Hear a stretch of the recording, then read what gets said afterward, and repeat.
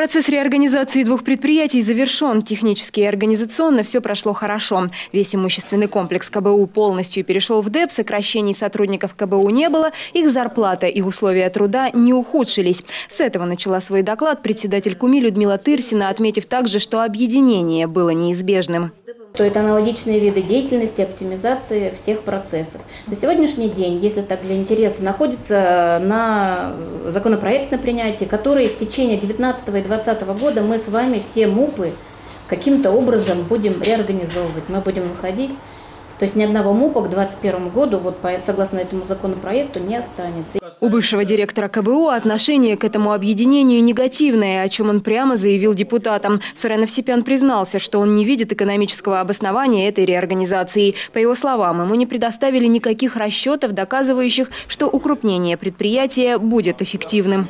Только сейчас можно после того, как похоронку получили, выпили за упокой, только можно сказать, что поживем, увидим.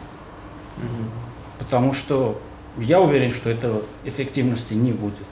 Опроверг Сурен Овсепян и то, что при слиянии двух предприятий не произошло сокращение штата КБУ. По его словам, 15 человек уволились, потому что их не устроили новые условия труда. Еще 7 попадают под сокращение. Да и сам Сурен Карленович, которого на комитете депутатам представили как заместителя директора ДЭП, с 30 ноября на укрупненном предприятии не работает. Я тоже с завтрашнего дня уволен, поэтому Уволены? Да. В связи с моим желанием. Обсуждая судьбу объединенного предприятия, депутаты также подняли вопрос асфальтного завода, который с 2000 года находится в хозяйственном ведении ДЭП. Предприятие держит 70% его акций и с 2013 года получает дивиденды. За последние пять лет это примерно 12 миллионов рублей. Для предприятия, которое балансирует на грани финансового выживания, это ощутимое подспорье. Однако этого дохода, как выяснилось, ДЭП в скором времени может лишиться. Поступило как бы обращение о том, что администрация города хотят забрать 70% данных акций да, асфальтного завода в казну.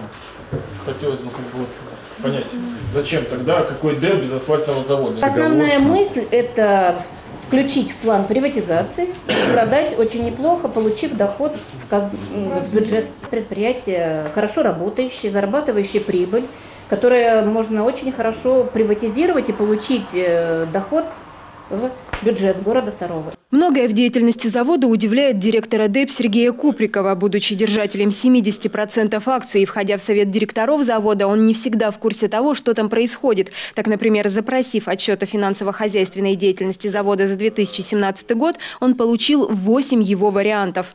Если в первом отчете была э, прибыль показана 120 тысяч, то после как бы, проверки и без э, не было приложено э, аудиторского заключения, то после этого аудиторской проверкой аудитором было предо... уже прибыль выросла до 2 миллионов за счет как, того, что выросла эта прибыль, мы и получили дивиденды миллион триста, которые получили в этом году, которые нам так необходимы.